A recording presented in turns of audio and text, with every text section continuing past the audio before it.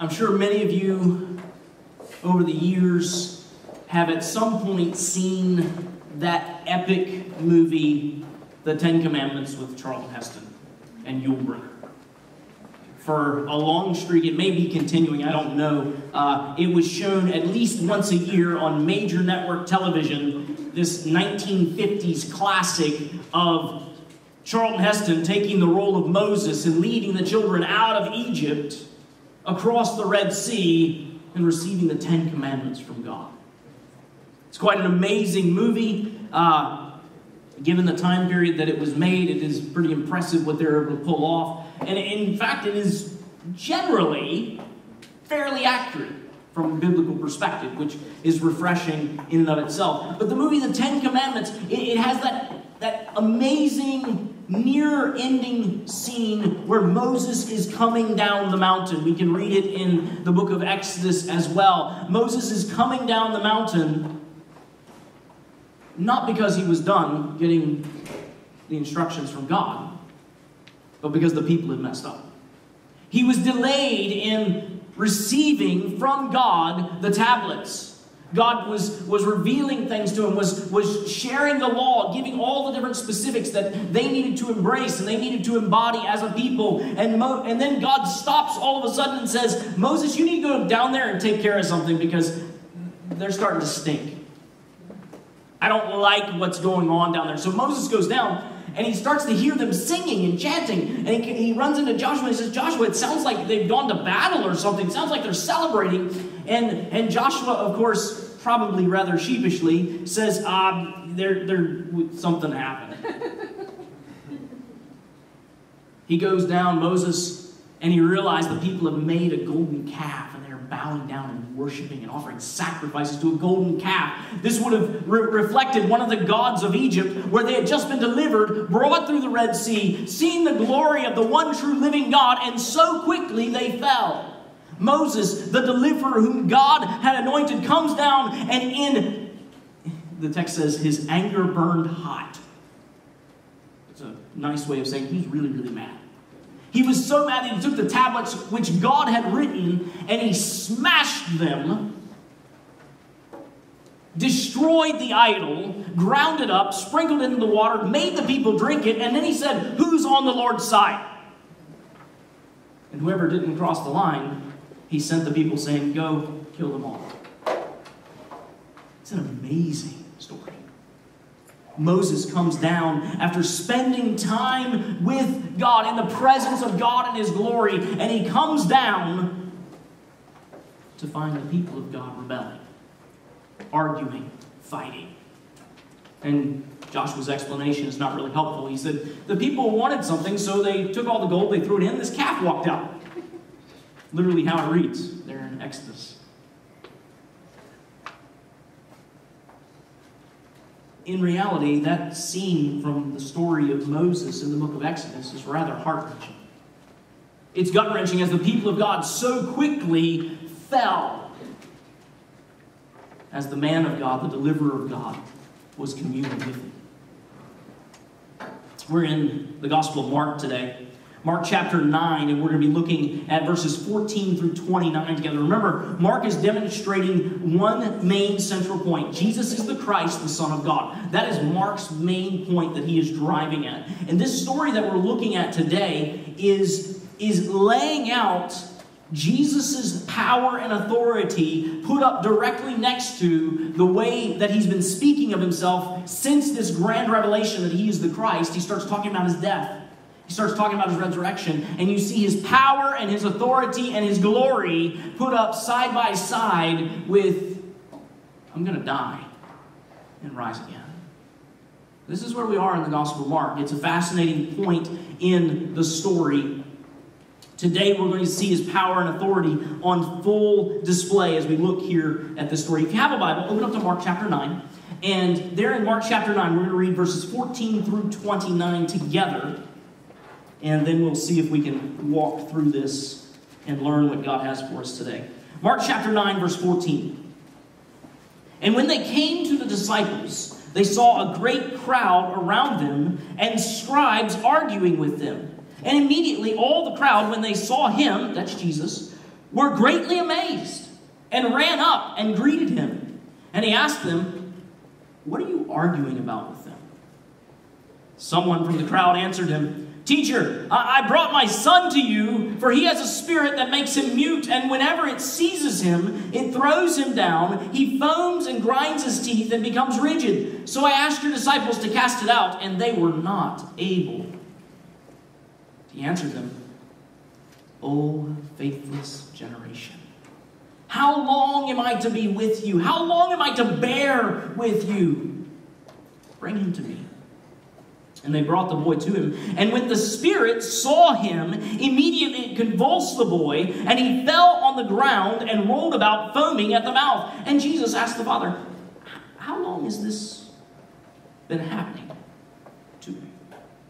And he said, From childhood.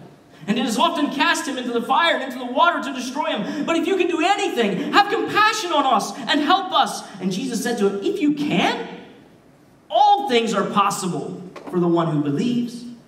Immediately, the father of the child cried out and said, I believe, help my unbelief. And when Jesus saw the crowd came running together, he rebuked the unclean spirit, saying to it, You mute and deaf spirit, I command you, come out of him and never enter him again. And after crying out and convulsing him terribly, it came out, and the boy was like a corpse, so that most of them said, He is dead. But Jesus took him by the hand and lifted him up, and he arose. When he entered the house, his disciples asked him privately, Why could we not cast it out? And he said to them, This kind cannot be driven out by anything but prayer. This is the word of the Lord. It's quite the story.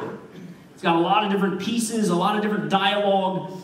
The main point that I want you to see from this story is that Jesus demands faith and dependence. Jesus demands faith and dependence. Jesus is coming down from the mountain like Moses. He's been there, the Mount of Transfiguration, the glory, his divine nature is shown forth. Remember, Moses came down with his face glowing at, at, different points there in the story because he had been with God and the glory of God was shining through him. And we see Jesus walking down with Peter, James, and John after having spent time with God, very similar to the story of Moses that we recounted just a few moments ago. And just like Moses, he walks into a problem. The disciples were having an argument. The disciples had not been trusting him and obeying him, rather, they were arguing with the scribes. Mark records that as soon as the people saw Jesus, they were amazed and ran to him. I find that interesting. They just saw Jesus and they were greatly amazed, the text said, and they ran to him. Perhaps Jesus was still glowing a little bit, maybe? I don't know. Were they surprised he showed up? As, Jesus, as usual, Jesus cuts straight to the point. He says, What are you arguing about? What's the disagreement? Why are you having a spat? It's fascinating to me to see how Jesus interacts with people. Because we, we already know from the Gospel of Mark that Jesus perceives people's thoughts. So why does he ask the question? I, I mean, think about it. Jesus is able to perceive the thoughts of the people there. He knows what they're arguing about. He's God. It's not a surprise to him. He knows the details. He knows all the things that they said that they wish they hadn't said. So, why did Jesus ask the question? I think Jesus asked the question more for the sake of his hearers and for us. I don't think he's asking the question because he needs more information. I think he asked the question for the sake of the people there and for our sake as readers of this story. He asked the question saying, What are you arguing about? And then the scribes and the disciples, the two who are having the argument, are not the ones who respond. But rather, a man, a dad in desperation, speaks up and says, Jesus, I brought my son. He's got this evil spirit who causes him to convulse and makes him mute, and, and he's got all these issues. And I took brought him to your disciples to cast out the spirit, and they couldn't do it. Now you see the seeds of the argument. You see what was going on. Many scholars have pointed out that this looks like a diagnosis of an extreme case of epilepsy, but added to this, it is a mute and deaf spirit, as we see from the text. The most troubling part of the story is that when he brought the boy to the disciples, they were unable to heal him. And Jesus at this point gives a sorrowful rebuke. The rebuke recorded, excuse me, there in verse 19, O faithless generation, how long am I to be with you? How long am I to bear with you? Like Moses was aimed at the people of God, he was aimed at the disciples. How long can I show you these things? And you still not get it. Jesus aims this rebuke at them, and then he calls for the boy. And upon seeing Jesus, this boy, possessed by the evil spirit, is immediately thrown into one of these fits of convulsion. Just the one seeing and recognizing Jesus. Jesus hadn't said anything to him. And the boy, possessed by the Spirit, falls out on the ground and begins rolling around, foaming at the mouth. And you see what Jesus does? Jesus turns back to talk to the dad. Again, fascinated by Jesus. Why doesn't he deal with it then? He talks to the dad. And he says, How long has this been going on? Meanwhile, the boy is rolling around on the ground in this fit of convulsion. You can hear the desperation increase in the dad's voice. You can hear his voice at fever pitch. You can hear him saying, It's been since childhood. He's been thrown into water and into fire, and we can't do anything about it. Please help. If you can do anything, please help us. Have compassion. You see the amplified desperation of this father. And Jesus seizes on the phrase, If you can. He seizes on that phrase and says, If you can, all things are possible for those who believe. all things are possible for those who believe. And then you see this Father coming face to face with the glory of Jesus in the, in the midst of great personal need, cry out, I believe. Help my unbelief. And at this, Jesus turns and rebukes the evil spirit convulses the boy terribly, and then comes out and flees. The boy is left there laying like a corpse on the ground, and where the crowd is, is whispering back and forth, Is he dead? Did he make it? What's wrong? Why is he moving? And Jesus takes him by the hand, raises him up, and fully restores him. And then we get a snapshot as to the conversation that happened later. They go into a house, they're privately there, and the disciples come to Jesus and say, Jesus, we really got embarrassed back there. He came, he asked us to, to, to cast out this demon. We did everything we knew how to do, just like you taught us, and it didn't work. Why couldn't we do it? She said, This kind is only cast out through prayer. It's an awesome story. A few points I want to bring to the surface. First, the necessity of faith. The necessity of faith. Look at verse 19. And he answered them, O faithless generation, how long am I to be with you? How long am I to bear with you? Bring him to me. And they brought the boy to him. And when the Spirit saw him, immediately convulsed the boy, and he fell to the ground, rolled about foaming at the mouth. And Jesus asked the Father, How long has this been happening to him? And he said, From childhood. And it's often cast him into the fire, into water to destroy him. But if you can do anything, have compassion on us and help us. Jesus said, If you can, all things are possible for the one who believes. And immediately the father of the child cried out and said, I believe, help my unbelief. And when Jesus saw the crowd came running together, he rebuked the unclean spirit and said to it, You mute and deaf spirit, I command you, come out of him and never enter him again. And after crying out, convulsing him terribly, it came out of the boy, and the boy was like a corpse so that most of them said he is dead. But Jesus took him by the hand and lifted him up, and he arose. Between Jesus' rebuke to the crowd and his pointed words to the desperate father, there is a large flashing sign that says, This story is about unbelief. The problem that exists here in this story is unbelief. He rebukes both the disciples for it, his followers, and the man, the father, saying, you must believe. Jesus links the healing of the man's son to the faith of the man. The, man, the son's healing was not a matter of Jesus' power, but of the father's faith that Jesus could do it. For the sake of clarity, let me just help us understand the terms a little bit. In the Greek language, the word faith is both a verb and a noun. We don't have that in English. We don't have the verb to faith. How are you faithing? You know, that, that, that, that doesn't work in our language. Faith doesn't work as a verb in English. So we have the word believe. The word believe and the word faith are the same word, but one is a noun and one is a verb. And so as we read this story, what we recognize is that to have faith is to believe. And it involves three things it involves a knowledge of what you're believing, it involves an agreement that, yes, this is right, and it involves a trust. You see, biblical faith is not just simply information. It's not just simply, oh, I read the book. Biblical faith focuses in on the fact that you have the information, you agree that it's right, and you trust it. To biblically believe, to biblically have faith, means that you're trusting what you know to be right that God has revealed in His Word. Notice the words that Jesus says here he says, All things are possible for the one who believes. This is a pretty massive statement.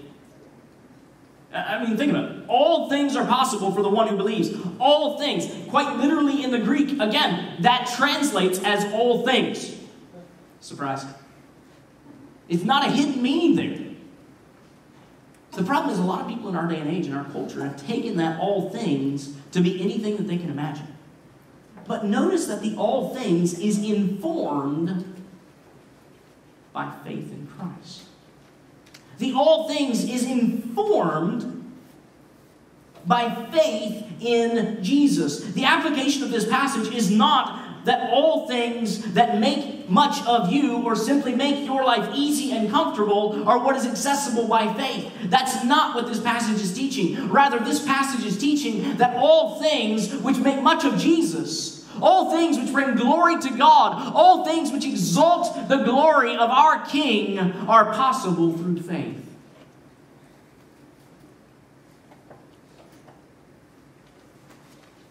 The application of this points to the fact that all things that magnify his greatness in the face of human weakness are possible through faith.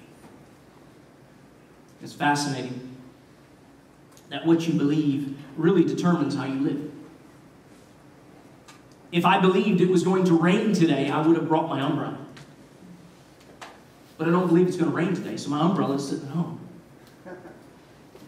If I believed that there was a lion out here in the courtyard, I'm not walking out the door. And I'm going to be standing there saying, Don't go out there because I believe there's a lion. What you believe changes the way you live, the way you think. Not only does believing God help our thinking and our actions to be right, but it unleashes the power of God in our lives. To believe God is to unleash His power to work in our lives. To believe Him is to inform our minds and our lives and our actions by what is ultimately true and right according to Him. Believing God is the key to all spiritual victory over sin and temptation. Any spiritual battle you seek to engage in is contingent upon you believing God for what is true and trusting His promises. Our battle against sin ultimately boils down to a battle to believe God. If we truly believe that the, the peacemakers are the ones who are blessed, as Jesus teaches in the Beatitudes, if we truly believe that the peacemakers are the ones who will be called the sons and daughters of God, then we will be people who seek peace, who seek to make peace rather than conflict. When we truly believe that God has stored up our reward in heaven, then we will pursue that and lay up our treasures there rather than here on earth. If we truly believe what Jesus teaches about the horrors of a very literal eternal hell, For those who have not trusted in Him, it will impassion us to call all people to the saving love of our King Jesus. You see, it begins by believing the right thing. There is a necessity to believe.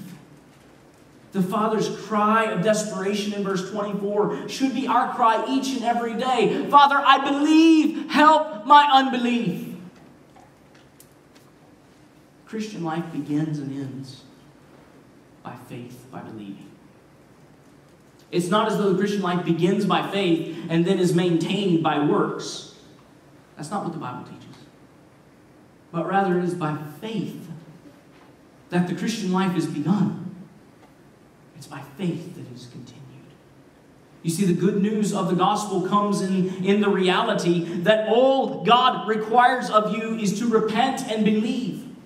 To turn from your sin, to turn from trusting your own way to make yourself right before Him. And believe that what Jesus did on the cross by dying and rising again was enough. He paid it all so that you could be accepted before God. That's how the Christian life begins. It begins by a point of what we call conversion. I've said this before no one is born a Christian. Every person who claims the name of Jesus converts to Christianity. Because Christianity is not an ethnicity. Christianity is not just a, a, a, a biological or a geographical identity. Christianity is your heart faith. It's your belief. Every person on the planet stands guilty before God. Every person on the planet has offended their Maker, and therefore every person on the planet needs the saving grace of God in their life to rescue them. Jesus came to bring that rescue. Jesus came to bring that rescue from the horrors of sin and hell and judgment. And every one of us stands before God based upon what you believe about Jesus. He came, God wrapped in human flesh, lived a perfect life, and died the death that you deserve so you could live the life.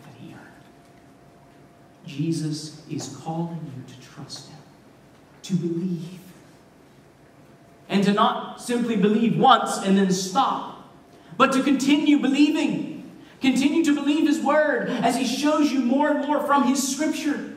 God speaks to us through His Word, and thanks be to God that He doesn't show us everything all at once because we all would be overwhelmed. But yet, as we read His Word, as we trust His Word, we are called to believe it, to trust it. And in that, we are made more and more like King Jesus in our thinking, in our actions, and in our lives. In fact, Hebrews 11, verse 6, describes it this way Hebrews 11, 6. And without faith, it is impossible to please him. For whoever would draw near to God must believe that he exists and that he rewards those who seek him. Are you believing God today?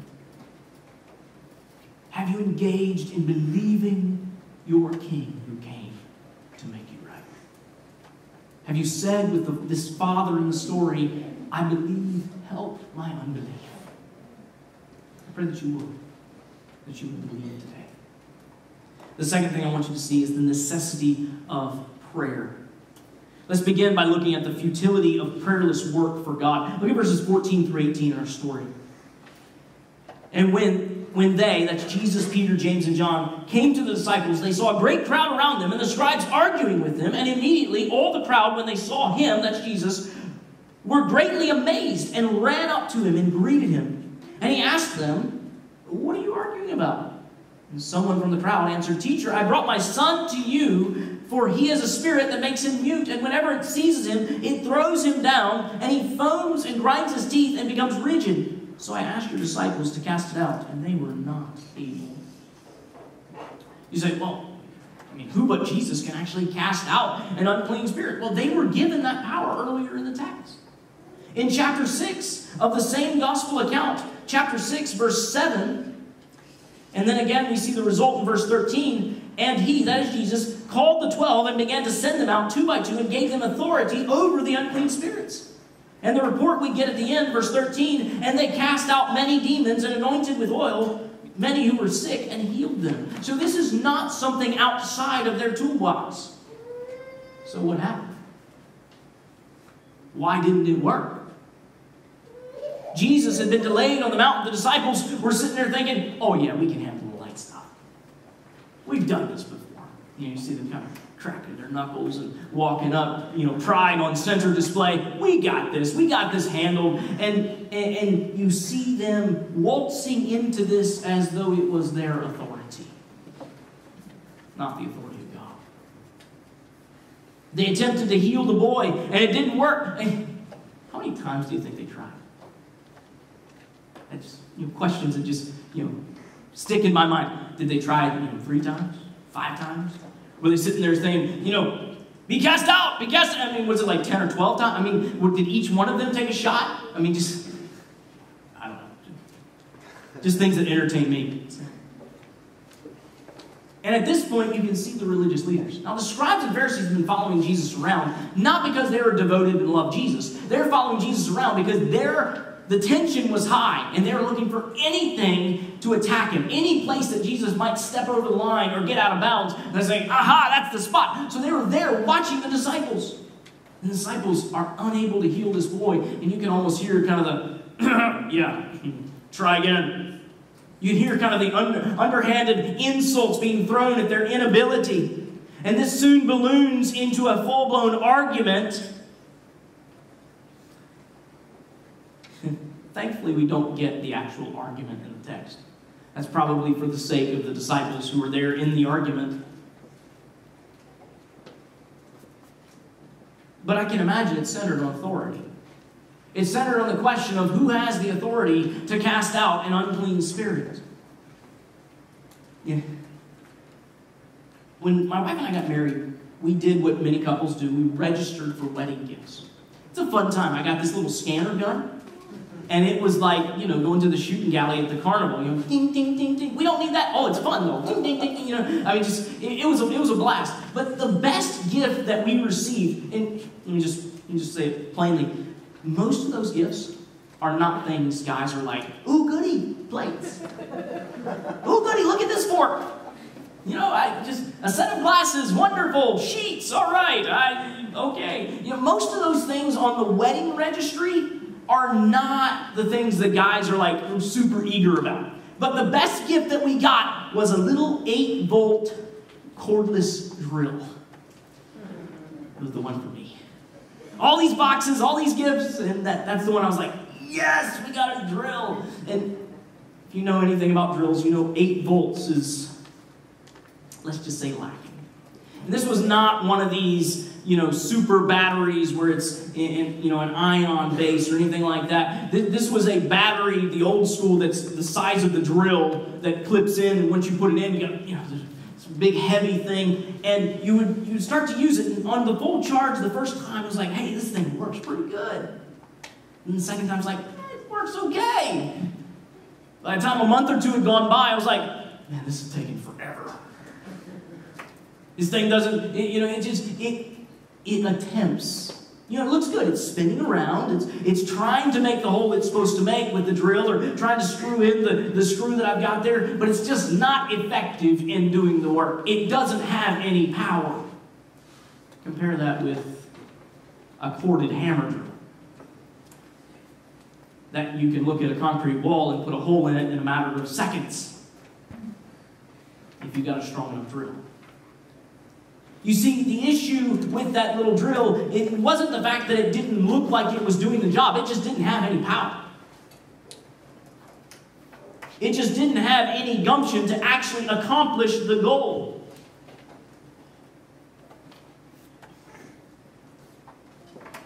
The disciples and the people who were there following Jesus had been with him a long time, yet they still fell back on trying to bring things about on their own strength. It was a prayerless, self dependent act They were trying to heal the boy on their own power. And if we're honest, we quickly tend to fall back into trusting our own strength. We're wired to try to do things on our own. Remember in the book of Acts, the seven sons of Sceva in Ephesus?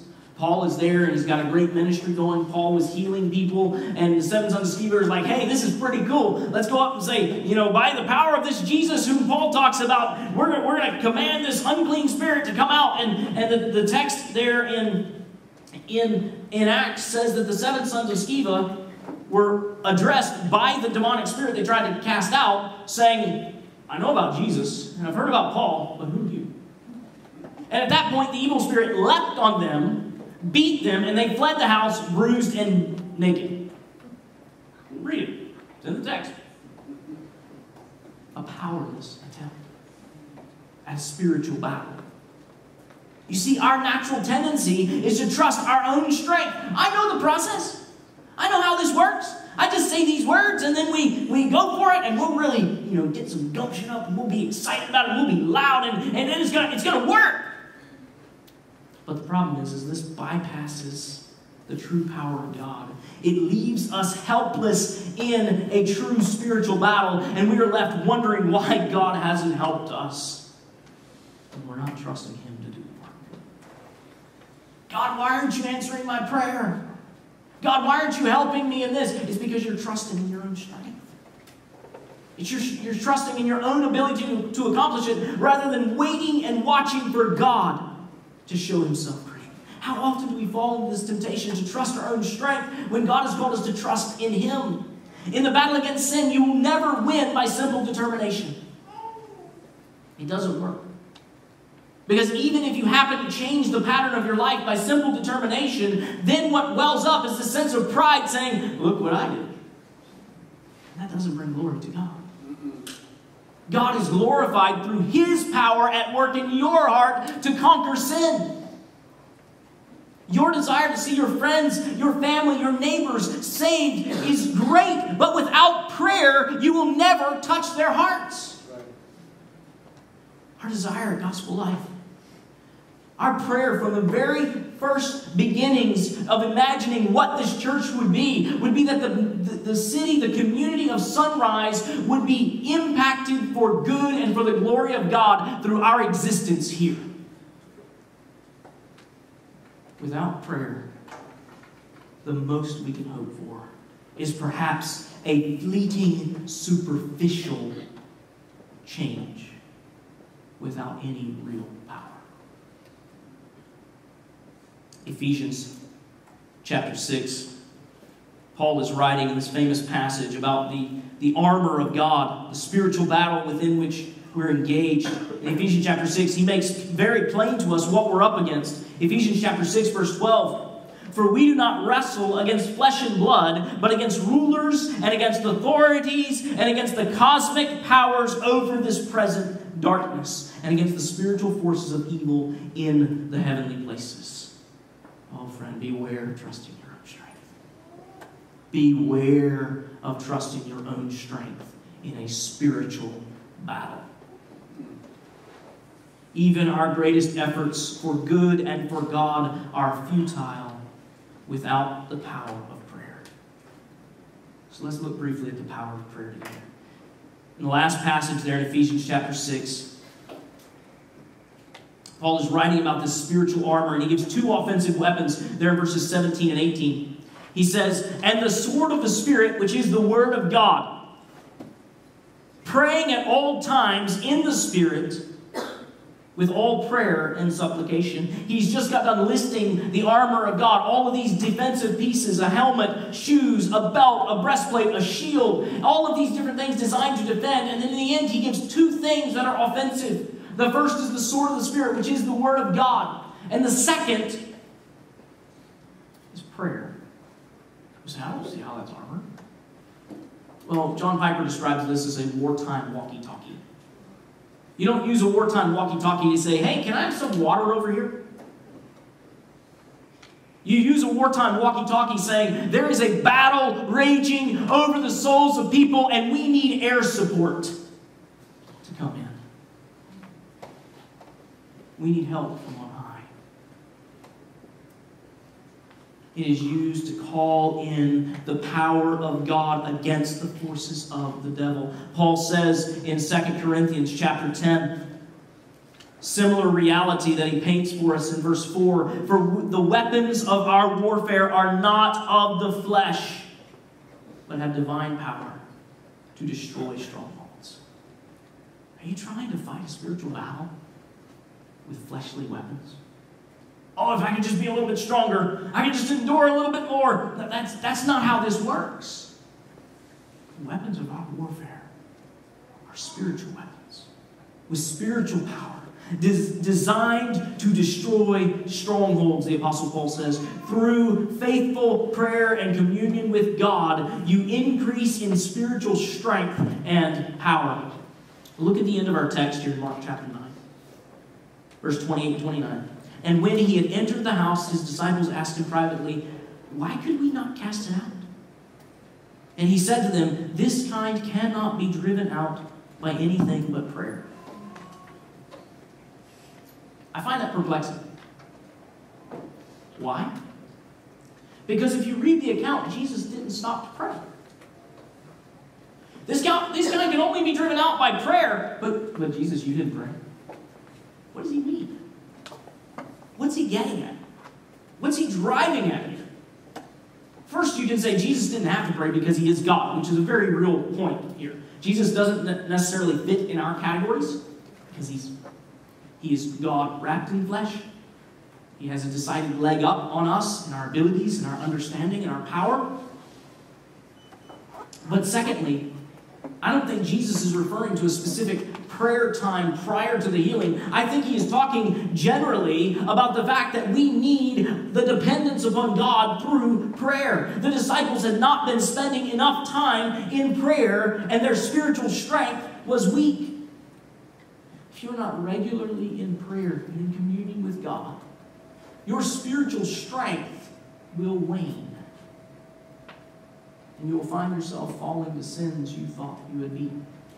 You will find your attitude towards the lost, your attitude towards your family to be wrong.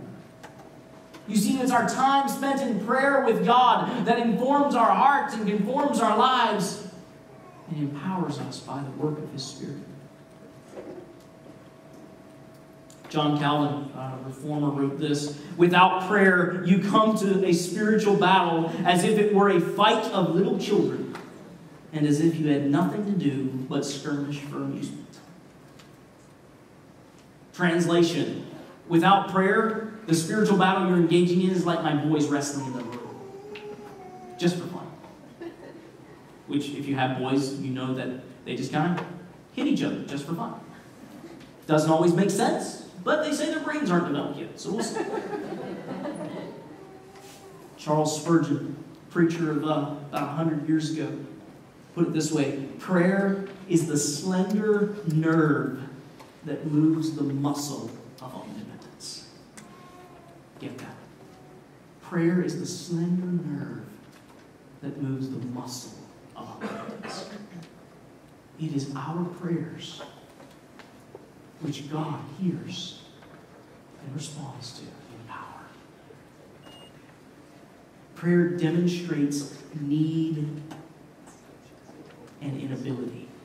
You see, prayer, the reason why prayer is central here is it demonstrates faith. When in our culture do we hear people talk about prayer? I'll give you a hint. Go over to the local high school and go to exam time. There's a lot of people praying.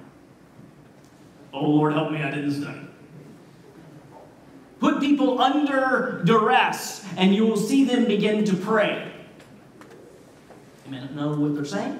They may not know to whom they're praying, but the natural reaction in a situation of duress or great stress or anxiety is to call out for help. Why? We don't tend to pray when we've got it all under control. If your pantry is stocked with food, you don't tend to pray that God would provide this day our daily bread. Well, I, I got that. I'm with the bubbles. But yet Jesus commands us to pray. You see, prayer is a declaration of dependence. Prayer is a declaration of our inability and our need. Christianity is not about being self sufficient. That's not what Christianity is. Christianity is about dependence upon God. The message of the gospel begins and ends with your and my inability and insufficiency and our desperate need before a holy God. the longer I live, the more I realize how utterly dependent upon prayer I am. Because I realize how short my arms are, how weak my back and shoulders are. I can't do it on my own. Is it any wonder that Paul writes in multiple places about the urgency and the need of pervasive prayer in our life? Here are just a couple of them. Colossians chapter 4, verse 2. Continue steadfastly in prayer, being watchful in it with thanksgiving. Philippians chapter 4, verse 7. I'm sorry, verse 6. Do not be anxious about anything, but in everything, by prayer and supplication, and with thanksgiving, let your requests be made known to God. And then 1 Thessalonians chapter 5, verse 17, what is ultimately one word in the Greek that says, pray without ceasing. We are called to a desperate dependence upon prayer. We are called to an urgency in our prayers. The Christian life devoid of prayer is a life devoid of the power of God for any spiritual good. You say, Well, Mark, I struggle to pray. Welcome to the club. I don't know anybody who says, I feel like my prayer life's kind of arrived. I don't know anybody who says that. Every person who's honest that you, that you speak to is going to say, I struggle to pray. I don't feel like I pray enough. I don't feel like I'm, I'm communing with God enough. Let me just give you a couple very practical things. Set a regular time to pray. Make it part of your routine, part of your schedule, part of your day. Write down what you're praying for. Many people find praying through a list to be very helpful and very productive. Here's one you may not think of pray out loud. The reason is, is because your mind, often praying silently, wanders. You start praying about one thing, and then all of a sudden your mind is floating off to think about something else. Pray out loud, and you won't get distracted nearly as easily. Because you'll actually be saying the words you're thinking, and then you say, Whoa, that's, that's not what I'm praying. Pray with your family. I encourage you to pray with your family. Pray with your spouse. Pray with your children. We all have a desperate need to pray. One final thing I want to draw out before us. I want us to see in this passage the glory and power of Jesus. Look over the story again quickly with me once more and see the awesome person who Jesus is. In verse 15, we see the crowds. Jesus is coming down from the mountain. Upon the sight of Jesus, they are greatly amazed and rush to him. In verse 20, we see the evil spirit, again, at the sight of Jesus, throwing the boy into convulsions. In verse 26, at the command of Jesus, the evil spirit was banished simply by the words of our Lord. In verse 27, at the touch of Jesus, the boy was completely restored. Did you notice that the scribes and the argument that was being had ended when Jesus showed up? You see, there was no argument to continue because the scribes realized when Jesus walked up, there, there's nothing left to say. Behold the glories of King Jesus. Behold the majesty. The very presence and voice of Jesus carries the weight of glory and power. Jesus is the Messiah of God, the Christ. The glory and power of Jesus demands your faith. So pray to Him. Call out to Him in prayer and trust Him today. The glory of Jesus calls you to believe to be changed. You know, when Moses came down the mountain, it was not his greatest moment. He got angry, he smashed the tablets, he had a you know, whole bunch of the people killed. It was not Moses' greatest memory, most glowing point in Moses' life. Yet we see Jesus coming down. In similar scenario as Moses, but coming down as better than Moses, because he comes down and he does rebuke them for their unbelief, but yet we see in Jesus a compassion and a love and a help. We see in Jesus a love for the broken, care for those who are hurting, We see in Jesus him rescuing people from the horrors of their sin and from the sins of a fallen world. Believe God today. Trust in Him. Pray. Don't fall to trusting on your own strength, but rather lean upon the arms of omnipotence today. Jesus demands your faith and your dependence. Let us trust Him with it here together today. Just a moment, we're going to have time to respond. Our musicians are going to come up and lead us in a song. It's a time to sing. It's time for you to pray. If I'm, if I'm able to pray with you over something, I'm delighted to do that. Whatever it is in your life, perhaps for the first time you realize you're not depending upon Jesus. Perhaps you've been trying to fight the spiritual battle on your own strength and you realize you're not winning. Commit yourself to pray. Have brothers and sisters around you pray for you. Whatever it is, you respond as we sing.